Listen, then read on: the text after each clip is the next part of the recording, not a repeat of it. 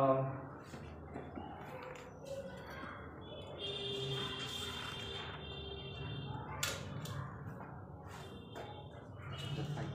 okay, uh, possibly can click that.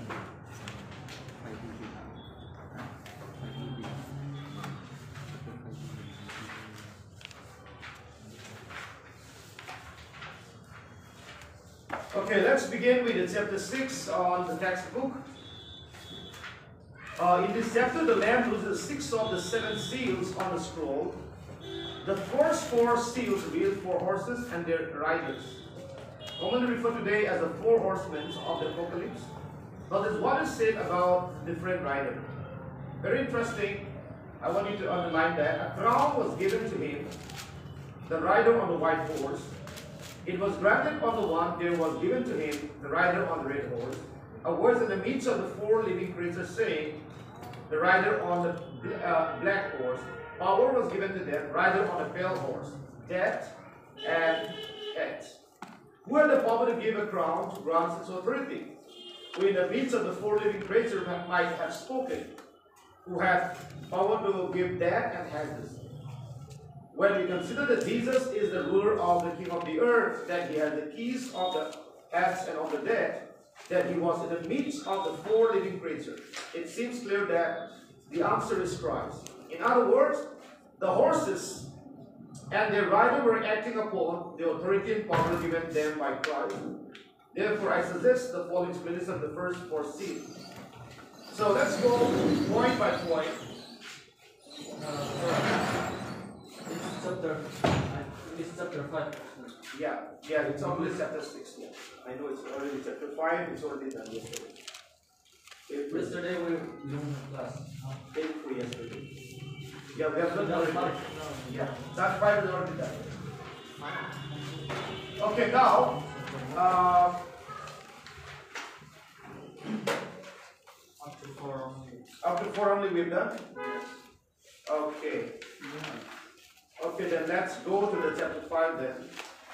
Okay, then why did you say uh, uh, 6? Okay, chapter 5, you can open a page to the 32.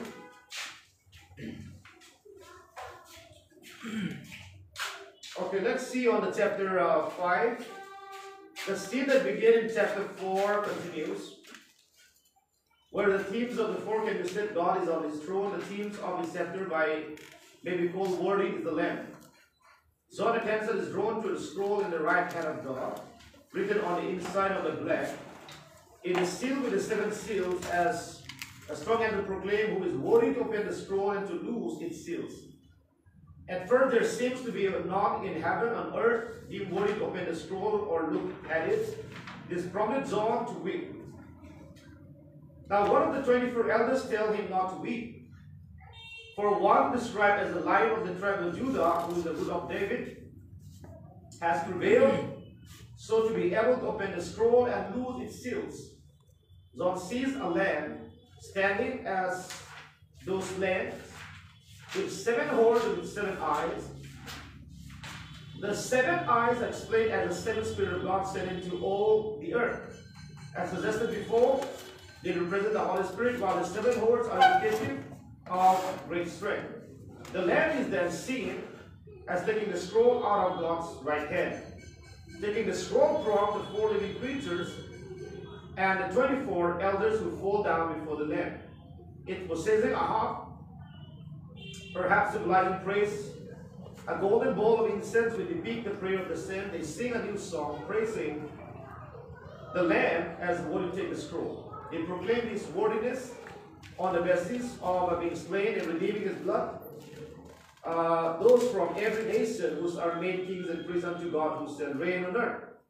The voices of thousands of angels around the throne then join with their praise of the Lamb who was slain as one received power, riches, strength, honor, glory, blessing. Finally, every creature in heaven, earth, and sea join with praise for both him who sits on the throne and the Lamb.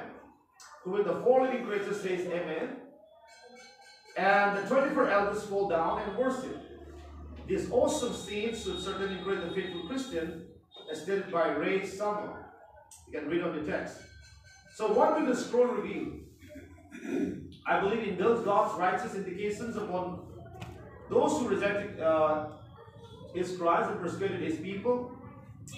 Also, how his suffering saints will eventually overcome, as long as the scrolls are sealed and working of God was still a mystery. But as the seals are broken, we have the revelation of Jesus Christ, who gave him to show his servant the things which are shortly to take place. Now, there are many things to learn, but uh, from the textbook, this is just a survey and a guideline. But I prefer to stick with the Bible itself, okay? Because we often say that the Bible is the textbook, okay? We would like to use it as a textbook so that uh, not depending on the notes uh, that much. I think depending on relying on the scripture is far more important than relying on any commentaries or relying on any other resources. First of all, let's see on the, the scripture itself and let's try to understand, analyze it one by one. First of all, I want to emphasize on I saw the right hand of him that sat on the throne. First of all, let's understand the right hand of him that sat on the throne. Number one. Now, in the Bible, whenever you come across the word right hands, please keep in mind that right hands are always symbolic. Okay? These are not literals. You cannot apply a literal physical interpretation with regards to God's right hand. We know that God is a spirit, as such, He does not have a left hand and right hand unless that God choose to manifest in some human form or in human body. Now remember, today we have a human body, but once we die, when we are in the spirits, we will no longer possess even this body at all. So therefore, we will not have a left hand and right hand. These are no more necessary. Okay?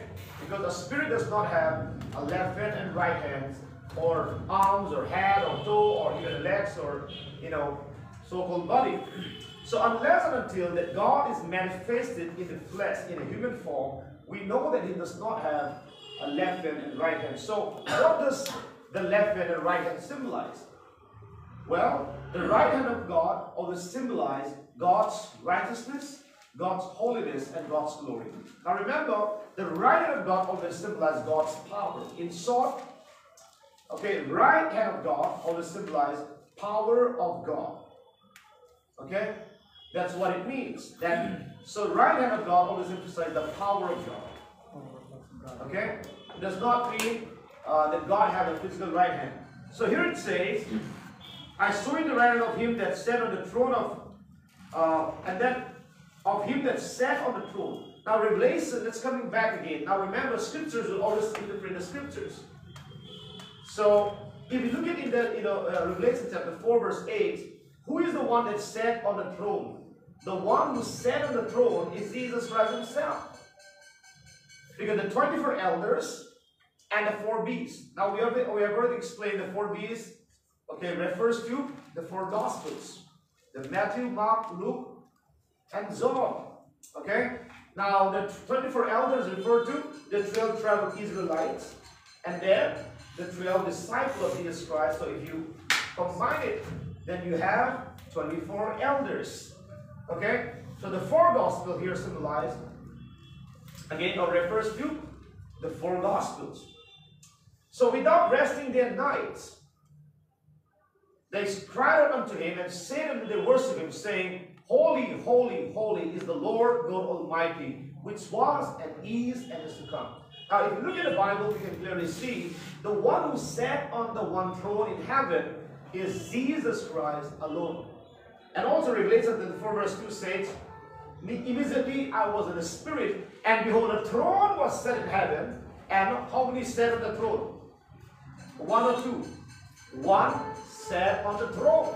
Now some other versions say there is one set, one throne in heaven, and one sat on the throne. A.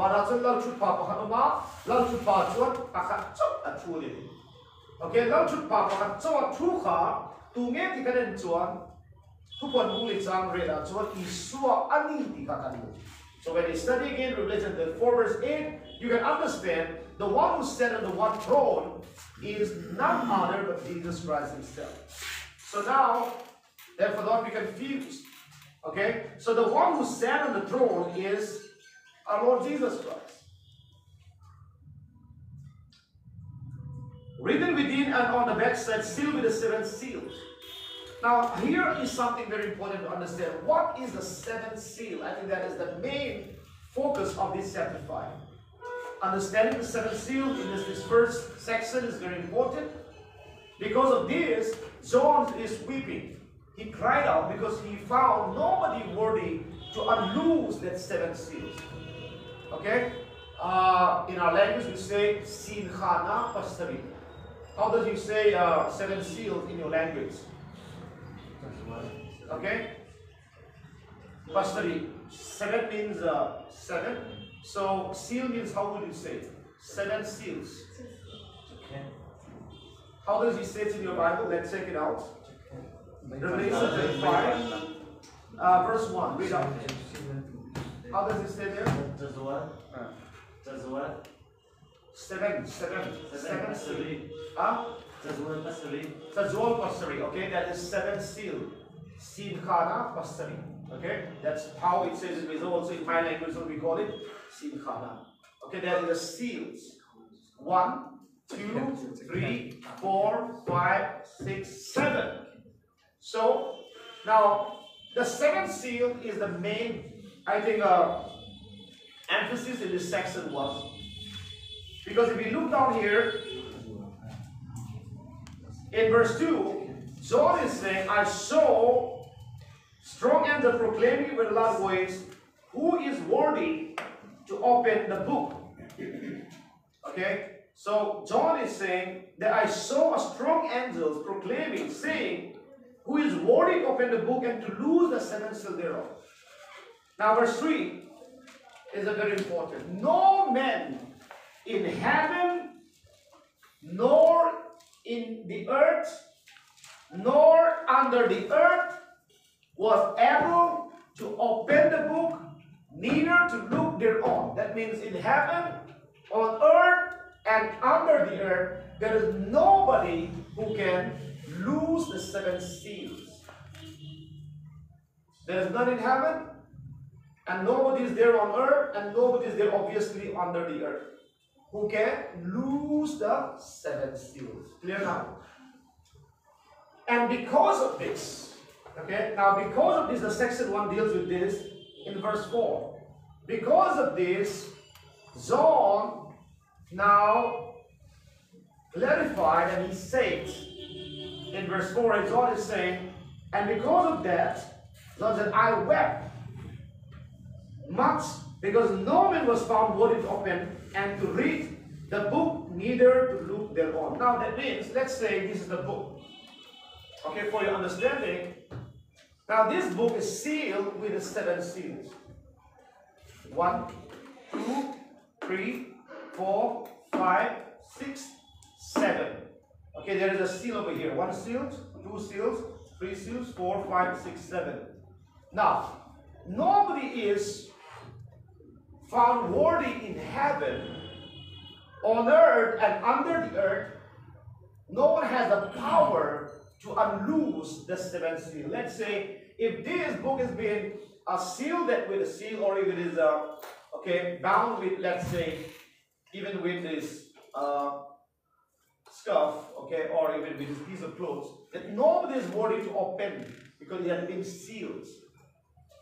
Okay, now let's say this is the book. So in that imaginary form, in that visualization, John has seen a kind of a book which has been sealed with the seven seals. Okay, one, two, three, four, five, six, seven. And then John clarified that nobody is worthy in heaven, on earth, and under the earth. There is no one who has the power to lose that seven seals. And now in verse 4, because of that, John said, I wept much. In other words, I cried literally. Because John said, Now I started crying because I found nobody is worthy in heaven, on earth, and under the earth who can lose that seven seals and open the book. Now, first of all, let's talk about what is the seven seal. Okay, understanding the seven seal is very, very important. what does it mean by these seven seals? Okay, very importantly, uh, most of the people may not, uh, you know, verify everything in details, but it is important for us to ask these questions. Okay, these questions is this. What is the seven seals?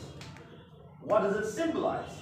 But one thing we are certain that this seal is not a physical, uh, a literal seals. Okay? I know that this is not a physical seals. I'm made of some, uh, you know, with some uh, chemicals, uh, you know, materials or something. It's not made of any other chemicals or something. It's not made of some other liquid forms. Okay, we know that according to the Bible, it's not a physical seal. Okay, it's not a physical seal, not made of rubber or not made of a steel or something. We know that this seal is a symbolic. But what we need to understand is, what does this seals really symbolize? I think that's a very important, pivotal question. What does it really symbolize? And what is these uh, seven seals? Number one, the seventh seal here symbolize the law of Moses. Or you can say the Sabbath law. I repeat myself for your understanding. The seventh seal here symbolize the law and the Sabbath. Okay? Now when we say the Sabbath, the Sabbath is, what does the Sabbath mean? It means the seventh day. Okay, God created the happens and the earth and even the man on the sixth day. On the sixth day, God made man on his own image, and uh, on the seventh day, he rested. So therefore, number seven is also the number of God. And uh, what does it mean by the number seven? The number seven uh, means God perfection, God holiness, and God's, okay, it also symbolizes or refers to God's perfection and God's greatness. So number seven is always a number of God as far as the Old Testaments are concerned. For example, God rested on the seventh day, and therefore Naaman was instructed by the Elisha to go to the Jordan River and dip himself into that water how many times? Seven. Seven times again. Alright? And then we know that even the Jericho, the city Jericho was circled by the Israelite how many times? Seven times they circled. And then what did they do? They blow the trumpet and one accord and Jericho was fallen. Now remember, if you look at the Bible, we can see that seven is always a God's number. Okay, therefore even Revelation it says, Revelation 5 verse 6 8, seven spirits. Revelation chapter 3 verse 1 talks about the seven spirits again. And we know that even that seven spirit does not mean that God is a seven persons or in the Godhead there are seven gods. But we understand the seven spirit mean it is referring to the spirit of the Lord Jesus Christ or referring to the Holy Spirit. And we know the Holy Spirit is the spirit of Jesus Christ. Okay?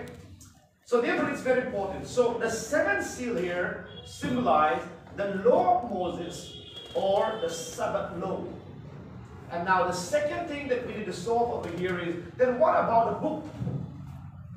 And I know that none of you have studied this way of exposition in your, in your entire life. Have you ever studied like this before? Have you ever studied in any Bible school?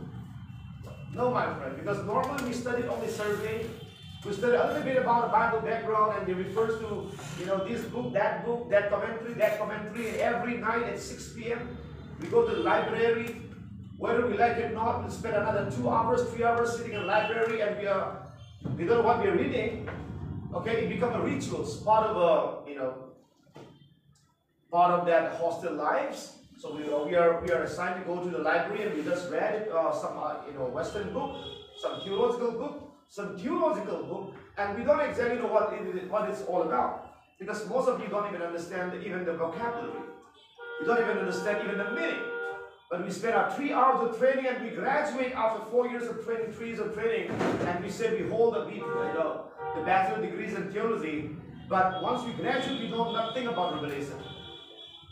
And therefore, our knowledge, the knowledge of most of these so-called our graduate today, most of our pastors today in our Christian churches, the knowledge level is very, very um, not to that level. Okay? Most of our people don't have any knowledge about the book of Revelation at all. And they say it's a scary thing.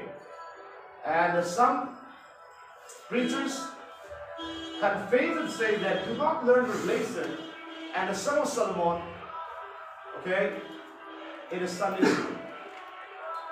But the most important book is the Revelations and Song of Solomon. Because if you understand all these uh, you know, spiritual languages, the you know, metaphors and symbolism, then you can understand the God's secrets. You can understand what God is passing the message to you and I. Now let's talk about now the book. What is this book? And we know that this book is not an ordinary book. One thing is clear. Now this book does not mean uh, a book like this. Okay, this it does not mean okay a physical book. One thing is clear. And John said, This book has been sealed with the seven seals. And he said, I found that no one is worthy in heaven, on earth, and under the earth. No one has the power to unloose that seven seal. And therefore I wept. Therefore I cried bitterly. That's what he said. So now we have already solved one problem that is a seven seal actually refers to the Sabbath. Okay, the law of Moses or the Old Testament, okay, uh, the law of Moses. Now, then what does it mean by the book? Now remember this is symbolism. But behind this symbolism, behind this all these spiritual languages, God is conveying a message to you and me. God wants you to have a clear message from Him so that we can understand His covenant, so we can understand His truth so that we can understand his words. So now let's create this one. The first one has been already correct. What is that? Seal. The seal symbolizes or refers to the covenant or the Sabbath. Then now, what about the book? And why would John uh, weep much? Why would he cry bitterly? Why would he be weeping so profusely? Okay? Why would he cry literally, saying that I wept much because I found no one worthy in heaven and earth and under, the earth to lose the seventh seal. Now, if that book is an ordinary book, then I'm sure that John will not be weeping. But there is, John did not disclose it in detail. John did not say anything in details why he wept. But there must be a reason behind he wept because he knows the value of that book. Because he know that book is not an ordinary book. Amen. If it is an ordinary book, then why would you exit it? Because that book is not your, not your mom. That's not your father. That's not your grandfather and mother, right? So just because one book has been sealed with the seven seals, why would you that? If that book is simply an ordinary book. Clear now? So that means if he wept, that means there is a reason behind. He wept it because he found no one worthy in heaven, and no one on earth, and nobody is worthy to open the book and lose the seven seals even under the earth. That means in the entire universe, no one is worthy to open that book. Amen. Hallelujah. Let's break it. So now, the next question here is, what does that book really symbolize? I know it's a symbolic, I know this is full of symbolism, but what does that book really symbolize? I think that's a big question that we need to answer. Now, let me make it very simple, short and simple for you to understand. Here, the book refers to human. Amen. Okay, what did I just say? The book here refers to, it's referring to the human being. Okay? A referring to the people, the nations, the tongues and languages. And why the book of Revelation compared this book with the nations, people, and languages? What is the reason behind? Now remember, for your understanding, let me explain in a very simple way. For example, let's say, if I ask you, what is this? I know you will say it's a book. You're right. And what is the purpose of this book? The purpose of this book is to note it down, to write it down, the sermons, to jot it down your thoughts, your ideas. Suppose if you have uh, a diary book, okay? How many of you used diary book before? I guess you have a diary book, right? So in a diary book, you will always note down and you will always write it down the telephone number, your friend's number, their address, and also about your thoughts, about your day, and some of the, you will summarize it about the, the event. Suppose today's event, about since morning what you have done, since morning to evening, what, what you were doing, and to whom you chat, and how God has led you. Maybe you will write it down on your diary book. So usually, okay, book is used for writing it down.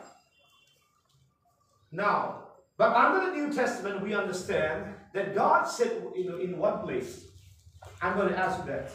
In one place, that God says, it's been repeated in the Old Testament. Sorry, it's, it's there said in the Old Testament, but now repeated in the New Testament. Now that prophecy is was given on the Old Testament, but it is already fulfills from the day of Pentecost. In one place, there is a scripture reference that says that in the Old Testament, Moses wrote on the tablets.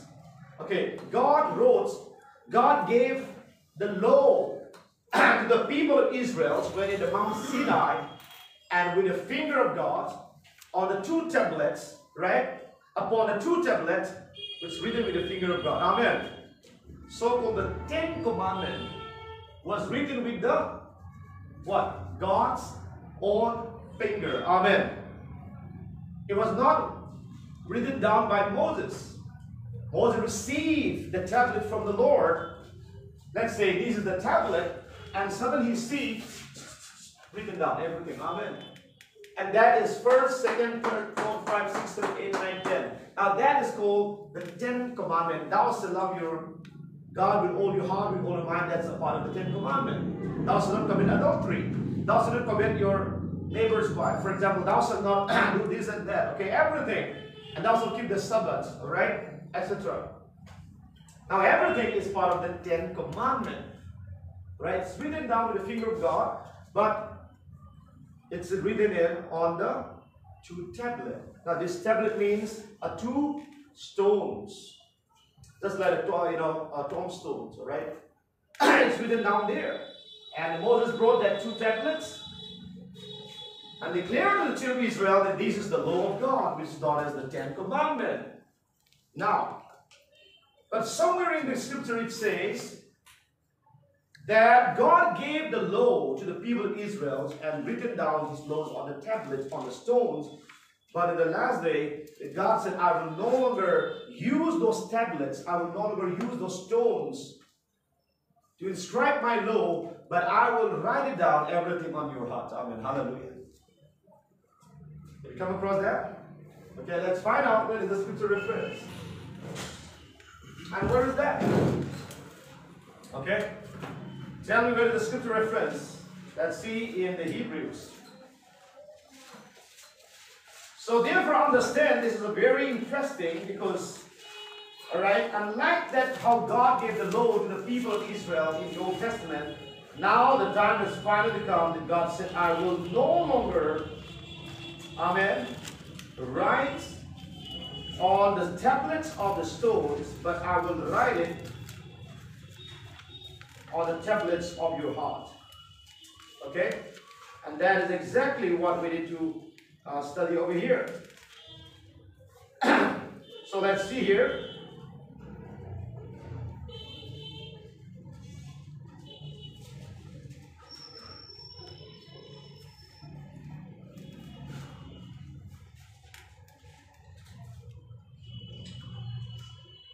Okay, now let's read uh, Hebrews chapter 8, everyone to the Bible.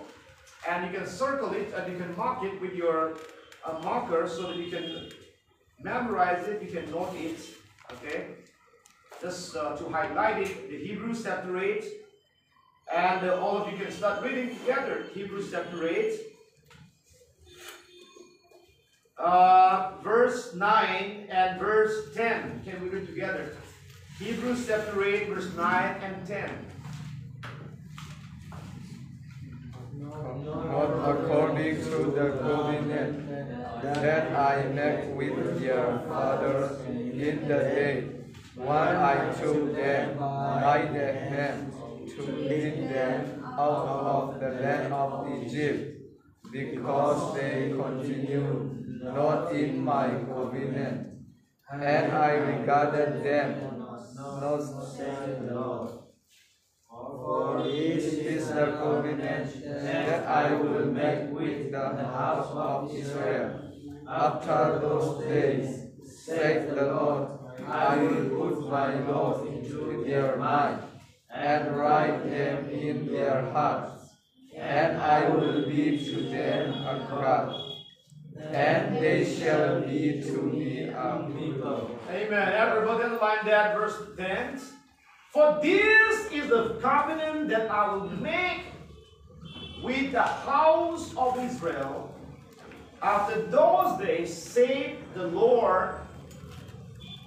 I will put my laws into their minds and write them in their hearts. And I will be to them a God, and they shall be to me my people. Amen. See that? In the Old Testament, what did God use? He used the, the two tablets. He used the stones. As Paul also mentioned very clearly, including in Second Corinthians, you can turn again to Second Corinthians. Right, see chapter uh, chapter uh, three and verse seven. He said, "But if the ministrations of that written and engraved in stones," but then here Apostle Paul calls it that, including the Ten Commandments or the law of Moses, the Sabbath law, according to Paul, it is nothing but it is the ministrations of that that was written and engraved in stones. But in that time, it was indeed glorious, so that the children of Israel could not steadfastly behold the face of Moses, for the glory of his countenance, his glory was to be done away. How shall not the ministration of the Spirit be rather glorious? Alright, Paul goes on to say, For if the ministrations of condemnation be glory, much more do the ministrations of righteousness exceed in glory. Now that means in the second Corinthians chapter 3, verse 7, 8, 9, 10, 11, Paul is contrasting between the two covenants. You can say the law and the law of the Spirit. Hallelujah.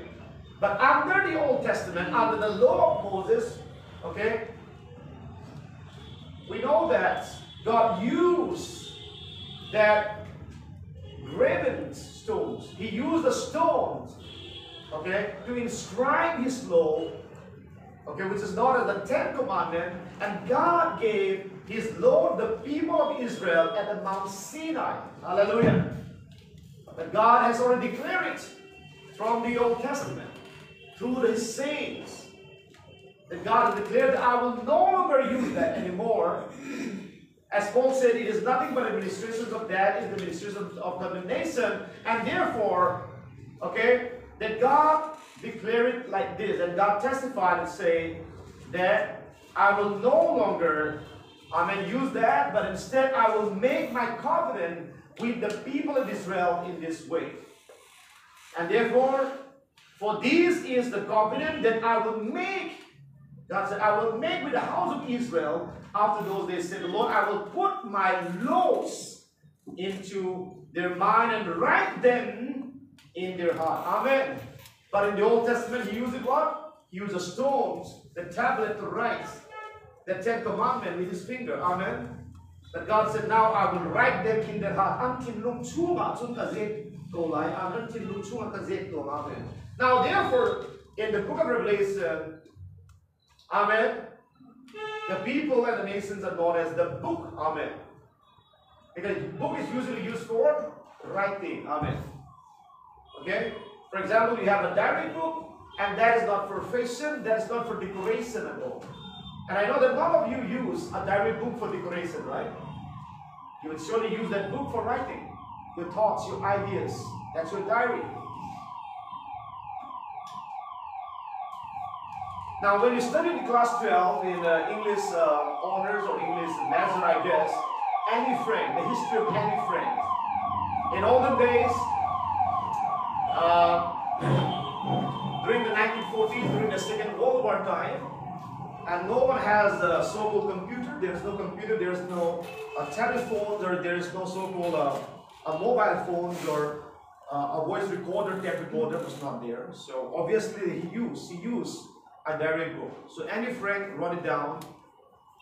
Okay, about her story, how they escaped from the hands of the the you know the ruthless Hitler, the dictator of the German Nazi, and then they came to the Poland and hid there for more than a year. But finally, any friends and the family were discovered by the German army that they were hiding on the roof.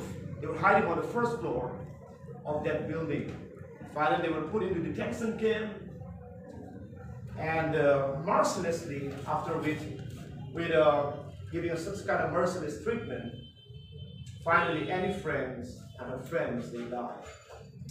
But after her death, the Annie Franks, the diary book, was discovered by her father, and it was finally printed out. And therefore, we come to know the whole, okay, come to know about the story of the Annie Franks and their family, how they hide and escape from the ruthless, the German dictator Hitler. And then, when the book, when the diary book was, uh, you know, printed out in a book form, the Annie Frank book, or that diary book, was actually she has written down with her own finger, with a pen on the diary book, okay? About her thoughts, about Hitler, about her love for her families. She's not even in marriage. She's such a young, beautiful girl. And it really touched the hearts of the people worldwide. So the Annie Frank books become a, such a, you know, a demanding book that worldwide more than 2 billions of copies were sold within a month. And therefore, even today in a Christian uh, English literature, when you study in a, for example, in your uh, 10 plus 2 or maybe in your BA uh, English course, you will study about Annie Frank. How many have heard about Annie Frank? Have you heard about Annie Frank? You heard about that? I think you studied, right? Yeah. So the Annie Frank recorded everything on her diary book. See. So you see that, my friend, that book. Now John said, I wept because the book was sealed with a seven seal. And nobody is able to open that book. What does it mean?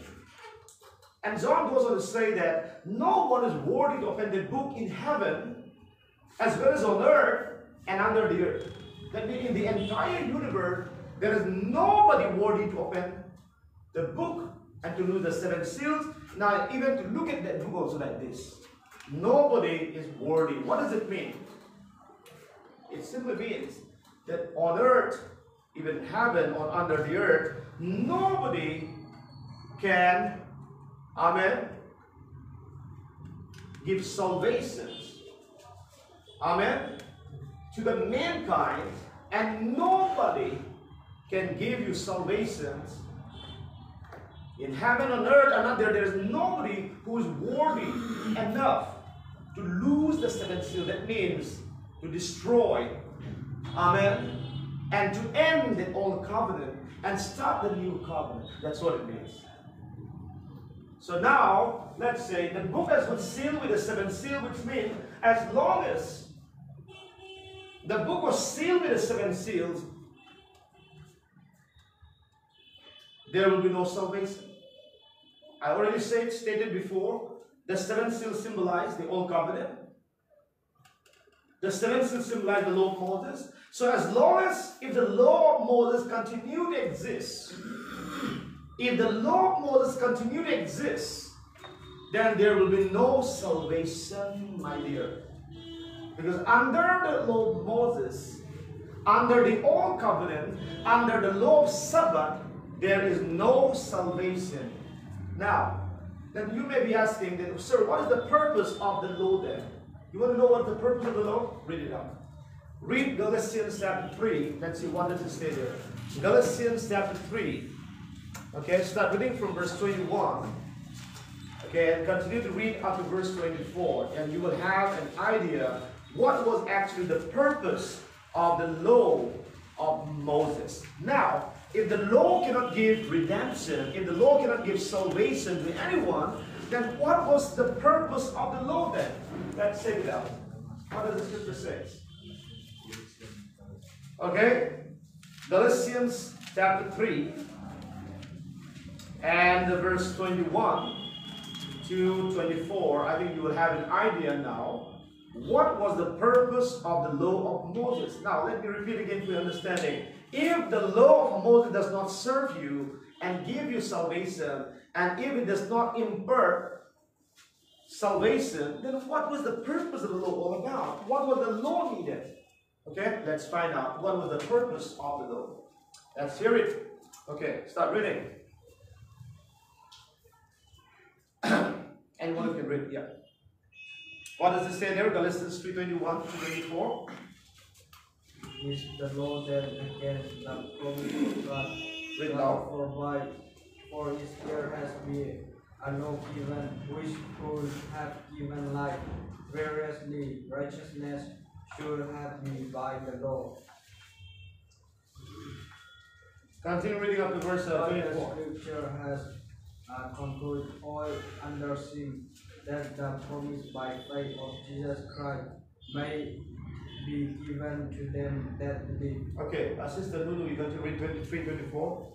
But before faith came, we were kept under the law, shut up unto the faith which should afterwards be revealed. 24. Wherefore the law was our schoolmaster to bring us unto Christ, that we might be justified by faith. That we might be justified by law? No. What is it? Faith. That we might be justified by faith. So the purpose of the law, and if the if the law does not serve you salvation, if the law of Moses, the Sabbath law, does not serve you redemption, salvation, then why did God give the law, the Sabbath, and the law of Moses to the people of Israel? Why did He give them? Okay, now let me put it this way in our language. Sebab dan thule, Moses dan thu chuan, sandam na chuan eng wange Israel hong nen a chuan kan pathian chuan eng wange dan chu apek le. Okay, why he gave them?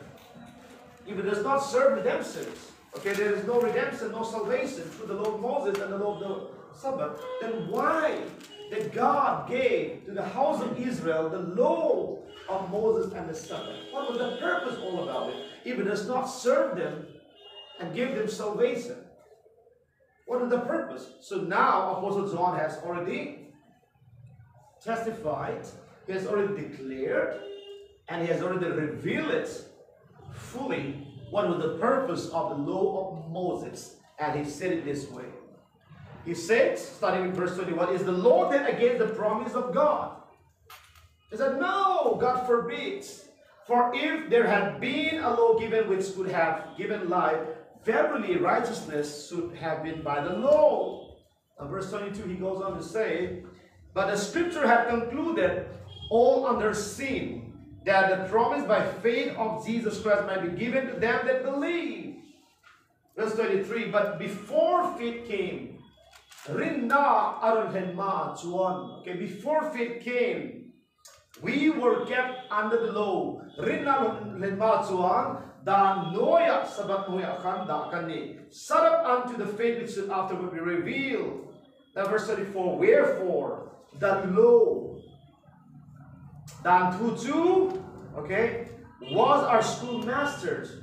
Dan Tutu Krista hera min kai huay tu ani. The schoolmaster to where? Bring us to where? Bring us to Christ. Hallelujah. So therefore, the purpose of the law, the purpose of the law the Sabbath and the law of Moses is to bring the people unto who? Unto Christ. That we might be justified. Now the word justified here means to declare righteous. Okay, keep in mind as a Bible student, justification means to declare, okay? No, no. Justification means to declare righteous, that's the meaning. Sanctification means to set apart. Okay, keep in mind. Now, when I say sanctified or sanctification, that means to set apart. Now, justification means to declare righteous as if you have never sinned. You have, you have no, or you have uh, you know sin.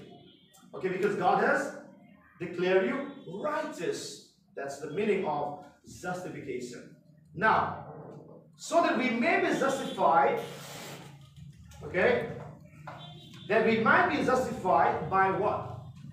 By faith, not by the law. Amen.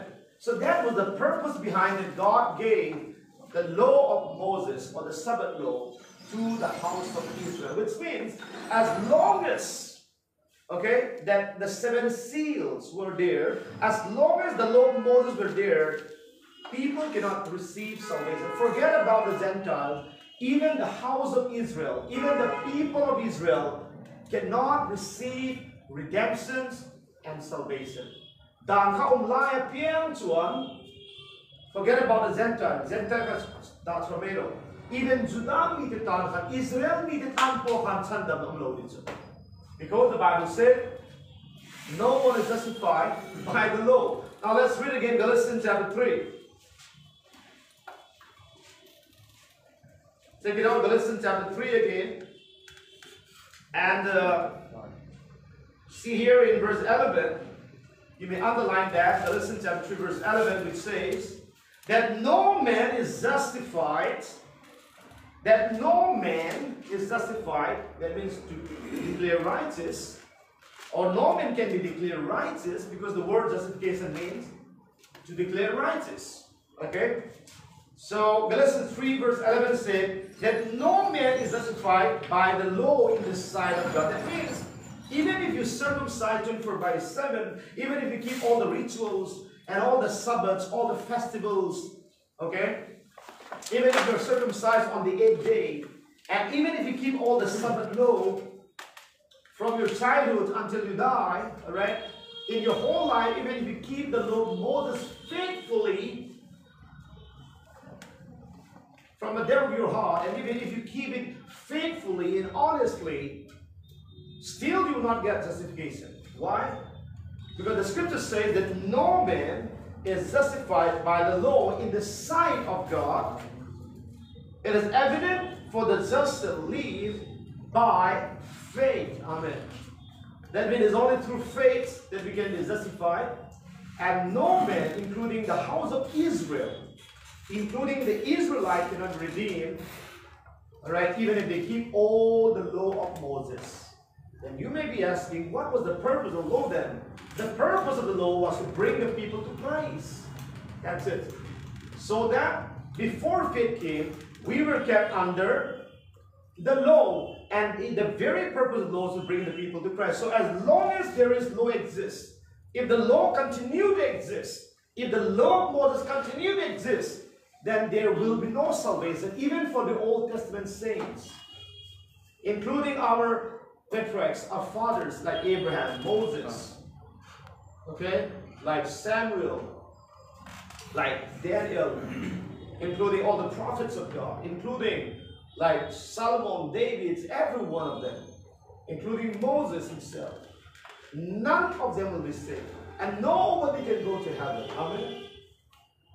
Nobody can have redemption. And therefore, if you look at the Hebrews chapter 11, it says, the heroes of the faith, starting from the Abel, Noah, Abraham, and all the heroes in the Old Testament, none were saved by the law, but they were all saved by faith, by faith, by faith, by faith, by faith, by faith, by faith. That's it. Amen. You see that? Now let's just have a look at there in Hebrews chapter 11, for example. Check it out in Hebrews chapter 11 for your understanding. Now, what is a faith? Okay, if somebody asks you, what is faith, by the way? You don't have to say, I don't know, I think, I think uh, faith is this and that. You don't have to say that, okay? If someone asks you, what is faith?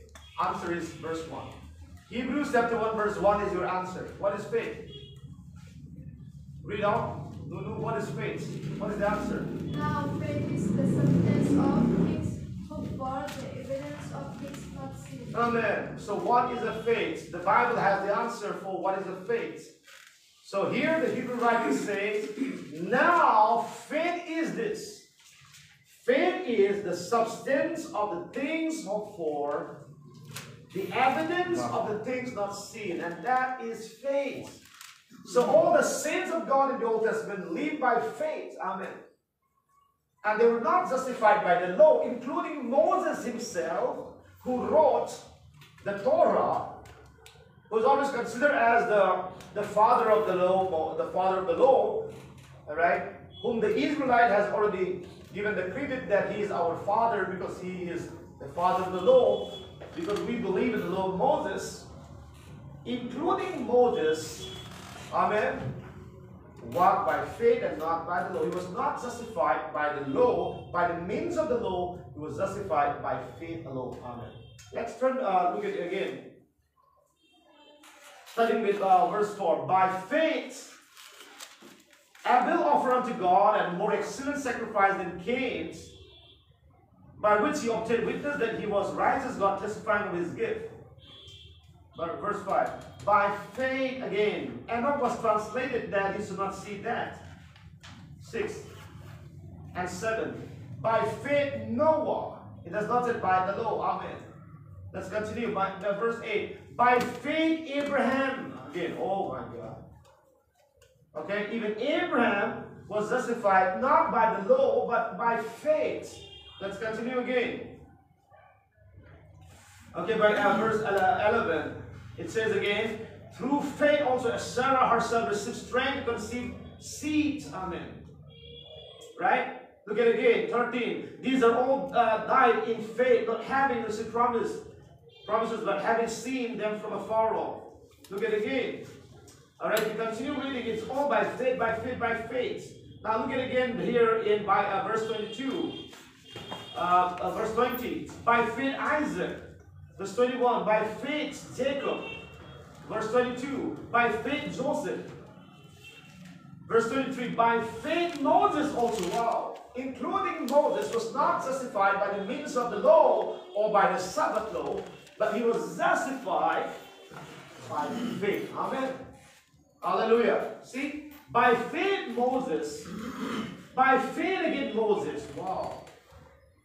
Now, verse, look at verse uh, 25. By faith with uh, Moses, when he was uh, come to the years, refused to be called the son of the Pharaoh's daughter, choosing, choosing rather to suffer affliction with the people of God than to enjoy the pleasures of sin for a season.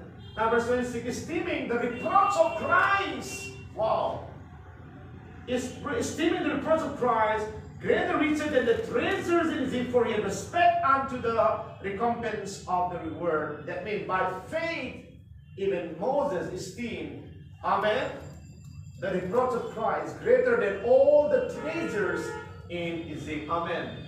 So according to the Hebrews chapter 11, now you can see verse 24 and 25, you can see that the God of Moses is none other but Jesus Christ himself. Amen? How do we know?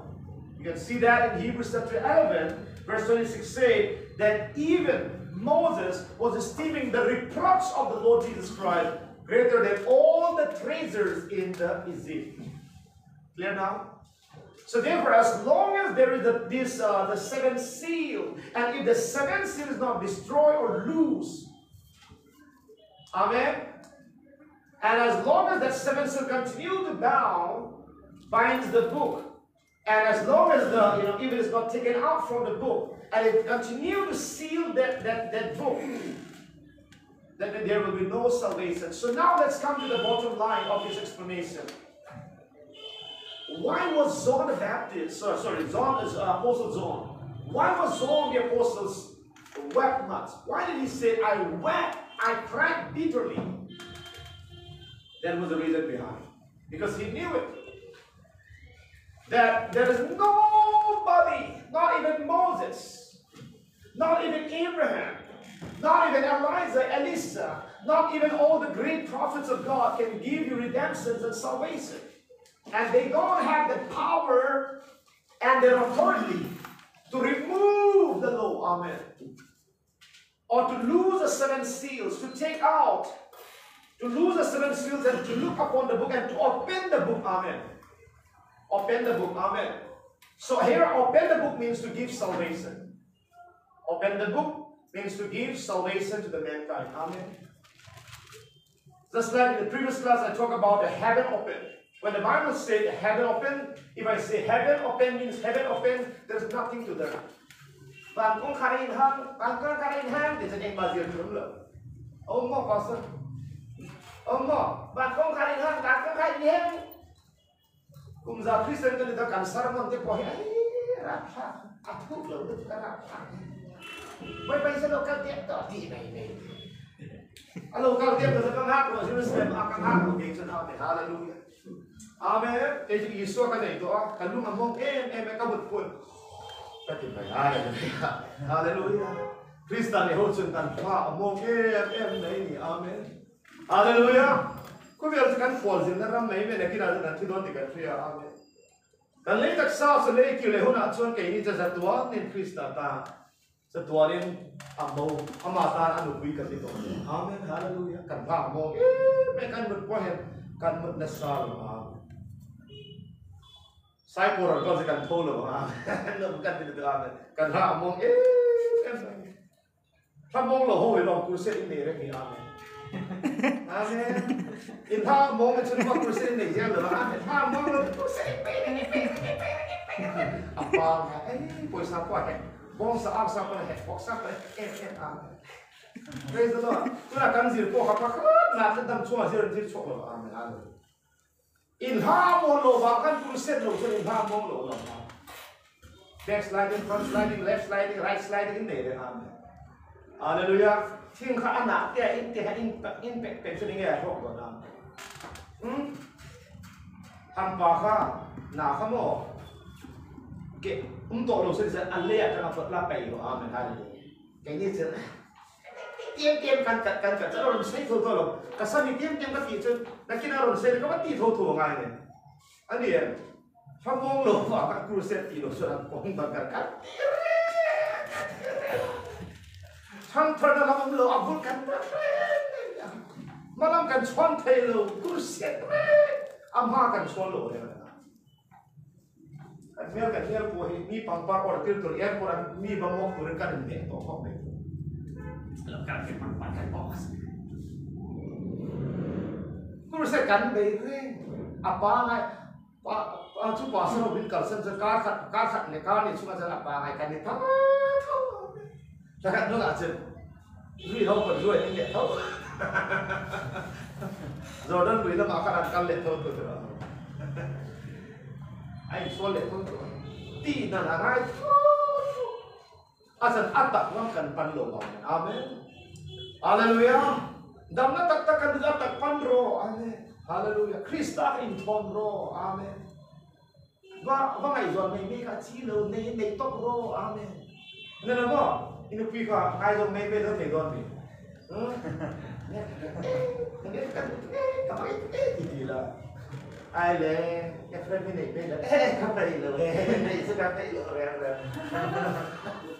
ka ma ngai don ka nei lo ba eh bai ba di su ka du tu ka du tu bai ba yesu an nei pe lo re in nei ro ka ti sa pe lo plan bo mai ba kis ma ta du ka se sa du lo re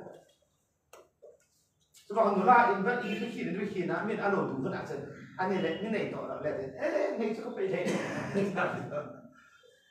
네이 페르스 누나 카바 트라이 랭랭 수 아멘 여러분 아멘 할렐루야 히포크리 더블 스탠드 더블 마인드 여러분 아멘 매치 바세 바세 아민 미네 로 디오나 네 페르 탄 보호 칸 시카 바가이 좀메 미아치로 까르가이 좀 딱딱 인네 메이쿠 아멘 아디뱀 인네 좀바 인네 모 rồi mai này mò thì ba đứa nó soi mai này mò ngày rồi mà rồi amen à em phải đi qua ngày rồi sẽ vào vào bên mình rồi chúng ta in ngày nó khác ở tuổi tuổi mà ngày nó bảo tập căn số ngày Isua kan mà ngày tập tập số này kan tiang atupi kan quay What did Jesus say in John 14? If you love me, you will keep my commandments. In mga ituan, katupi usong If you love me, keep my commandments. Hallelujah.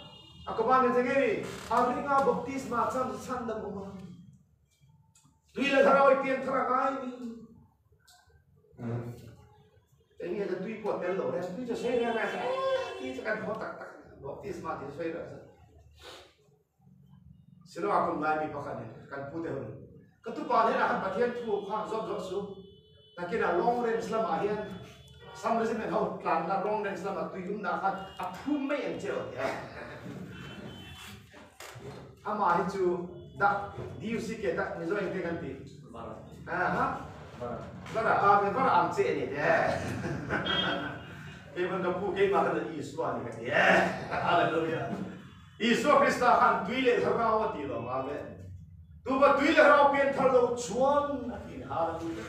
Ka pian thar ka tui tel me lo in pian thar ga ba ka kur se in ai la lo ma koi tu hallelujah Amen if there is not if it's not the gospel of Jesus Christ is brought, and if the, the law keep on continuing, then there will be no salvation, and nobody is worthy. Even heaven and earth and under the earth, not even Moses, not even the saints of God, not even the prophets of God, nobody has the power to unloose the seventh seal. Tu ma kha he le kha bo sin kha na to sri kha. Per chok tu le. La chok tu le. Le kha bu ka hong te po. What does it mean to give salvation? To offend means what? To give salvation. To whom? To the nations, tongues, and languages. Hallelujah. But the law of Moses, even if it continues, it will never be able to give redemption and salvation because the purpose of the law is not to give salvation. No man is justified by the law. Then what was the purpose of the law and the Sabbath then? To bring the people to Christ. That's it. Amen. And therefore, on the Calvary, hallelujah, Christ ended the old covenant and established this new covenant, which is established upon a better promises. Hallelujah. Amen. And therefore he ended and gave a divorcement letter on the Calvary when he said, My God, my God, why has thou forsaken me? So why did God forsaken? For eternity that God has forsaken. Because the old covenant has already fulfilled its promises and it's already fulfilled its roles. Now remember, the old covenant, the law of the Sabbath has now already fulfilled its role, and therefore now it ceases to exist under the New Testament. Hallelujah. And therefore, under the New Testament, uh, was the contrary, okay, including the Jews and the Gentile, no one is required to keep the Sabbath, and no one is required to keep the Sabbath or even do a physical circumcision. Cuma tulung tanda nakhan, Sabbath sirkan hai to Amen. Setiap setiap lo sing hai to lo. Amen. Tiap lo nang macam. Amen. Hallelujah. Praise the Lord. Tak guna te pasarin. Ah, pasal pa sa tiap lo sa tiap lo nang katin dulu dera. Bok sa tiap lo tu. A tiap lo tu kay ma ni kan si gati. Amen.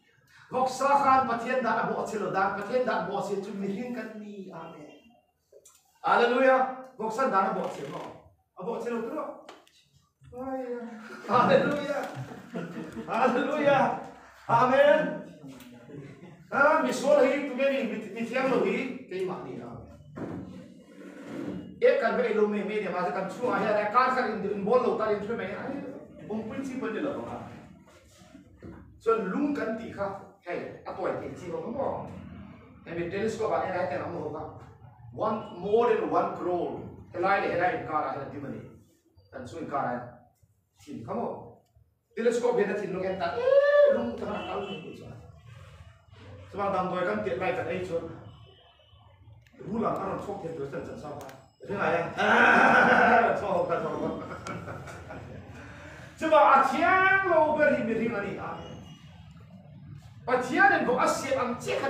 的出来。来啊？路亚！那这我天？你说个天老不给嘛你的？哈利路亚！是吧？那你说你讲你你给他那变态了，我听他，我听不了。哈哈哈哈哈哈！Amen. Hallelujah. Praise the Lord. Cho mà mình thulung luya chung ni sa thiang sa thiang ai thei. Gok sa ko ai chi lo. Kemal ko ai thei. Amen. So a ko ai thei na. Thulung sa sa nei tu tu ai ro an na kan na ko ai ro na tu tu ai ro ang ma ko ai ro. Amen. And I want to anak kanda no problem. Continue. Amen. Not complain. Amen. And don't judge others. If you to eat uh, monkey also no problem. If you want to uh, cobra no problem. Whatever you want to eat. Amen. Hallelujah. But don't judge others. You eat by faith. Amen. Hallelujah. And that's exactly what the scripture said in the New Testament. Amen. Because the Old Testament has been abolished, and God has given us a New Testament. So under the New Testament, hallelujah, all these legal systems and those, those law which has been practiced under the Old Testament cease to exist under the New Testament. In order to understand this, I want you to read again and re-emphasize the Second Corinthians chapter 3, verse 7 to 11. Now here, please keep in memory that Apostle Paul is contrasting between the Old Covenant and what? The New Covenant. He contrasts between the Old Covenant and the New Covenant. So now let's check it out. What Paul's, uh, Apostle Paul says about the Old Covenant, the law, and Amen, the Sabbath. Let's read the Second Corinthians. Amen. Second Corinthians chapter 3, verse 7 to 11. Amen. Now let's look at first in verse 11. It says, For if that which is done away was glorious, much more that which remaineth is glorious. So now, what is that remaineth? That remaineth is the new covenant, my friend. And everybody know that. The second Corinthians chapter 3, verse 11, okay, that remaineth, it's actually referring the new covenant, the gospel of Jesus Christ. The new covenant will remain forever. Hallelujah. And then what is that done away?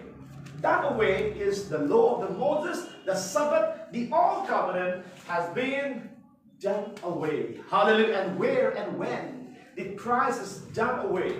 When he died on the Calvary. Hallelujah. So Calvary atuan alabaw anito. Hallelujah. And then he contrasted this way in 2 Corinthians chapter 3, verse 7. He says, the old covenant, the law of Moses is that ministrations of death underlined. Number one. Apostle Paul says, so the law and the Sabbath was nothing but a ministrations of what? Death. Number one. Hallelujah. Number two, look at verse 9. Okay? The maximum is ministration death. What is the minimum of the law of Moses? In the maximum way, it is a ministration death. In a minimum way, it is a ministration of what? Condemnation. Thiêm lâu chân na. Thiêm lâu chân tiêu na. Anh em ha? Thiêm lâu chân tiêu na. Tulung. Covenant means what? Tulung. Condemnation means what? Thiêm lâu chân tiêu na. Ministration death means what? Thi na rong bon na. See that? In a maximum way, the old covenant is nothing but administrations of death. In a minimum way, it's administrations of condemnation. That means as long as you continue, as long as you keep the law of Moses, the law of the Sabbath, then you will be condemned. Amen. You will never receive the righteousness and redemption and justification, but you will be condemned for eternity. Number one. Number two, because since the old covenant, the law of Moses is nothing but administrations of death. You will not receive justification and salvation. As far as the Holy Scripture is concerned. And that's the reason why John wept. Because Moses cannot remove the old covenant. Elijah cannot move the you know, old covenant. He cannot, you know, done away, into, uh, you know, the Sabbath and the law even Moses cannot do that. Even Abraham cannot do that. Nobody can do that in heaven and earth and under. Only Christ can do it. Hallelujah. Amen. And there's a reason why John said, I wept bitterly because nobody is worthy in heaven, on earth, and under the earth to lose and to open the book. Amen. Hallelujah. And to read the book. Amen. But there is only one man but the angel of God said unto him, Now let's see the good news. The good news is this, my beloved friends. Okay? Check it out here in the Revelation chapter 5. The good news is this. The angel of God cried out unto him and said to John, Look at it in verse Okay, verse 5. He said, I wept much. Or in other words, I wept bitterly because no man was found worthy to open the book and to read the book there, and neither to look thereon. And therefore he said, I wept bitterly because of that. But the good news is this, my friend. Look at here in verse 5. One of the angels or one of the elders said unto me, one of the elders said unto me, to John, Weep not, brother John. Or in other words, weep not. Behold, the lion of the tribe of Judah, the root of David, had prevailed to open the book and to loose the seven seals thereof. So here is the comfort is coming from one of the elders. And one of the elders said unto John, the apostle, John, weep not, because the lion of the tribe of Judah, hallelujah, and who is also known the root of David. Now, I said this several times before. What does it mean by root of David? Now, the root of David means he is the maker of David. He's the creator of David. He's the God of David. That's the meaning. Amen. He's the root of David. Remember, it does not say offsprings of David. It does not say ears of David. It says root of David. That means he is the God of David, the maker of David. Amen. That's the meaning of root. And then he said, lion from the tribe of Judah. Is Jesus Christ the real physical lion? No. But he, is he the real lion? Yes, he's the real lion. But what does the lion symbolize? Okay, but uh, Tom Tom read out. Tom and Tom. Genesis 49 verse 9. Quickly. You want to know that why is Jesus Christ known as lion? 49 verse 9. Amen. Lion. Known as the king of the jungle. Okay? So why is Jesus Christ a lion? I Genesis 49 verse 9. What does it say? Genesis 49 verse Underline. 9. Ah. Judah is a lion well. Ah. From the prey, my son, thou art gone up. He stooped down. He could as a lion and as an old lion. Who shall rouse him up? Everybody underline. Judah is the lion's well. Amen. In other words, Judah to lion sakay to me. You see that? This is called a metaphor. Okay? So why did Jesus known as a lion? Because he is born according to the flesh, he's the son of David, and according to the flesh, he's not a Gentile, he's a purely a Jewish man. Amen. And according to the flesh, Jesus, the son of Abraham, the son of David, and he's a Jewish man, and he's a Judah. And therefore, the scriptures say that Jesus is the lion from the tribe of Judah. Oh, ba may amen. But then, is he Jesus Christ physical, literal lion? No, my friend, this is a metaphor, this is a symbolic. Amen. This is only symbol. Then why did Jesus Christ known as a lion? Because he is a Judah. Amen. Because according to flesh, he is a Jewish. And the son of David according to flesh. According to the spirit, according to the spirit, he is, he is the God of David. But according to the flesh, he is the son of David. He is a purely a Jewish man. And therefore John also says in John 1.11, He came to His own, and His own received Him not. So who are His own? The Jew. The Israelites. Ama ama meet in Aaron kana ama the chun upon lo. Ama the nan tu lo. Ami the tunge. Judah tensi. no? So therefore it says lion from the tribe of Judah. Now let's see the second one. It says Okay, root of David. I said this several times. Even though, according to the flesh, that Jesus may be the son of David, but according to the Spirit, our God, Jesus, is also the God of David. Amen. And therefore, he is known as the root of David. And to lose the seventh seal thereof, and to take on the seventh seal. That means, here one of the elders assured and give the assurance to John, said, John, weep not. Stop your crying. Because I have brought you a good news. And the good news is this that behold, the lion of the tribe of Judah, who's the root of David, had prevailed to open the book. He can open the book. Amen. That means open the book here means he can give salvation to all nations, tongues, and languages. Hallelujah. He can redeem. He can give salvation to Israelites. Not through the law of Moses, not through the Sabbath law, but through his gospel. Amen. Hallelujah. And that is the reason why before the ascension into heaven, that Jesus Christ gave the commissions to his disciples. Amen. Eleven of them are purely Jewish. And out of the eleven, one person is a Hellenistic Gentile. And who's his, what is his name? Pastor Zion, who is that? The Jews. And who is the one of the, the disciples of Jesus Christ is from the Gentile background? Who's that?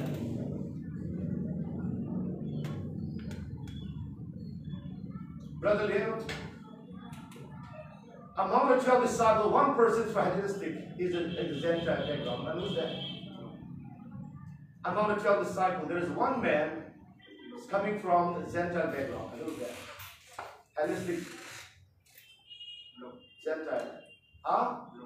Who said Luke? You. Amen. True. Amen. It's Luke only. Okay? Luke is coming from the Gentile background, but the rest of them are all Jewish. And unto this chosen one, the 12 disciples, that Jesus Christ gave the commission. And the commission is what? To preach what? Okay, to preach what? The law or the gospel? To preach now the gospel to every creature. Amen. Now to preach the gospel to all nations. Because the law cannot give them salvation at all. The Sabbath can never give them salvation. They can keep it the Sabbath law for another 10,000 years, but they will never receive redemption. Only the gospel, the new covenant, can give them salvation.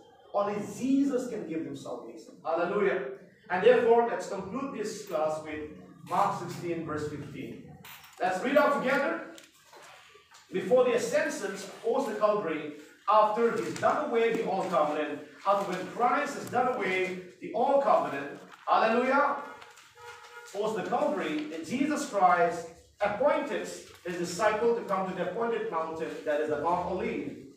And then he gave them these great commission. And after that, he ascended into heaven.